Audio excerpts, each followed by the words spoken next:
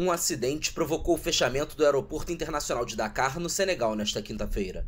Um Boeing 737 da Air Senegal saiu da pista durante a decolagem, causando 11 feridos, quatro deles em estado grave, e o fechamento do aeroporto por horas. L'avion, à la fin de la piste,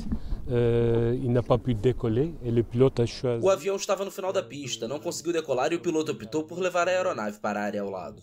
Pessoalmente, acho que ele lidou bem com a situação. O avião não foi gravemente danificado e, quando parou, a maioria dos passageiros estava bem. Bien géré la situation.